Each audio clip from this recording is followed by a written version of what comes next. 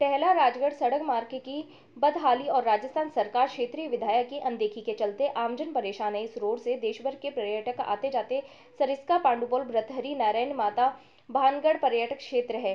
सड़क टूटी फूटी हो रही है, जिससे दुर्घटना की संभावना अधिक बनी रहती है। घाट क्षेत्र में सुरंग की भी मांग लंबे समय से चली आ रही है, लेकिन इस और राज्य सरकार और क्षेत्र के जनप्रतिनिधियों की उपेक्षा और उदासीनता के चलते विकास कार्य नहीं हो पा रहे हैं। सार्वजनिक निर्माण मंत्री और ज़िले के अधिशासी अभियंता से अनेक बार पत्राचार किया गया, लेकिन स्थिति आज भी बदहाल बनी हुई है। सड़क मार्ग के कार्य को शीघ्र शुरू करने की मांग करते हुए महंत प्रकाश दास महाराज ने चेताया अगर तालाब राजगढ़ सड़क मार्ग के डामरीकरण कार्य को शीघ्र शुरू नहीं किया गया तो मौजूदा सरकार के विरुद्ध जन आंदोलन किया जाएगा। उन्होंने इस कार्य को शुरू करने के लिए प्रशासन को दस दिन का समय दिया है।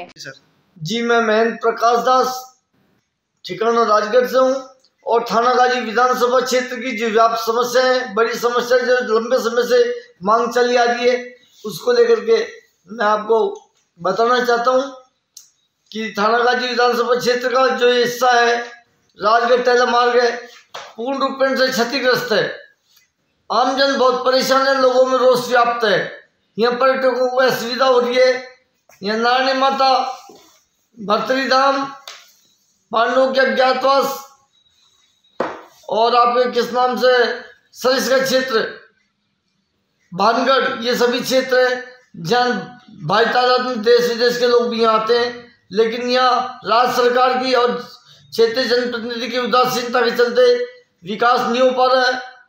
तो हम ये चाहते हैं कि रोड का काम अति शीघ्र शुरू हो और जो सुरंग है उसके काम को लेके राज्य सरकार एक बड़ा बजट प्रस्तावित करे जिससे लोगों जो समय लगता है जो दुर्घटनाएँ होती है उससे बचा जा सके। यहाँ महिला महाविद्यालय नहीं है यहाँ तहसील का पूर्ण दर्जा प्राप्त नहीं है सब तहसील अभी। जी।